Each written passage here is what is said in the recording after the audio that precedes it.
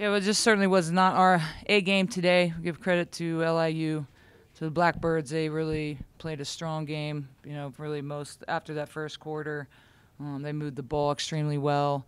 Um, we at times got some deflections and some steals out of some things, but uh, overall, their ball movement really hurt both our zone and man because we kind of went to every defense we could. You know, they were finding the gaps in our zone, um, and they were getting the shots up that they that they wanted and they were comfortable. And um, you know we got to give credit to them that you know they were knocking it down especially at the right time. And um, you know they were getting a lot of runs on us. So you know we tried to change up the defense but um, you know they kept hitting their shots.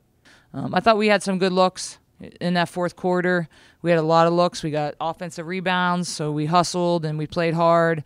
Um, but the looks just didn't go down for us you know particularly at the right time I think right now we we played like we were comfortable and you know we have a, a spot in the playoffs but you know that doesn't mean we can relax and um, you know like coach said that every team's going to come out and you know play their hardest against us and you know we have to be prepared for that and you know we have to stay focused and you know just play hard every game and especially and it starts with practice but hats off! I want to credit all our seniors.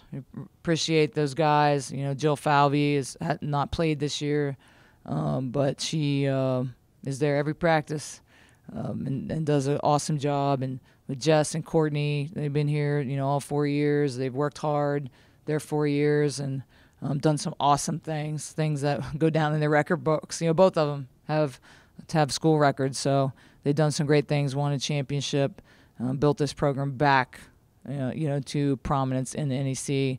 Then you have Anisha coming in as a grad transfer to join our program, and AJ Timbers the last two years and uh, we thank them and um, you know for being here the the time that they have and um, giving their all for this program. So I just want to honor the seniors because it's always it's always tough to to uh, play. You know, you know you're coming down to the end playing in DeGol Arena for the last couple times.